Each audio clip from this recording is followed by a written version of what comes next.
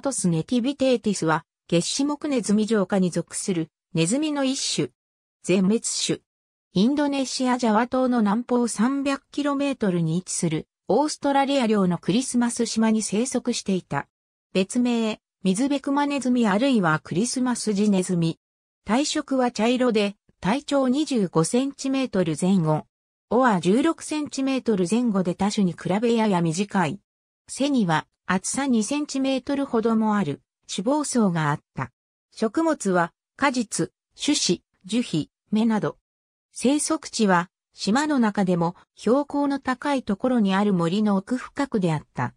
木に登ったりはせず、原生林内の木の根の隙間や空洞となった倒木の下などに巣穴を掘り、少数の群れで生活していた。中高の下では半分寝ぼけたように見え、名前のイメージとは異なり、おとなしい性質だったという。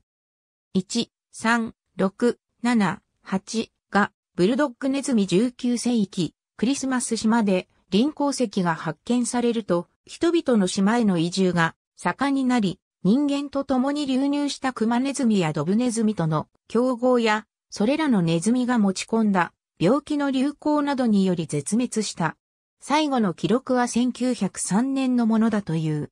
絶滅に関しては人間の直接的な関与はなかったとされている。アイタス。ありがとうございます。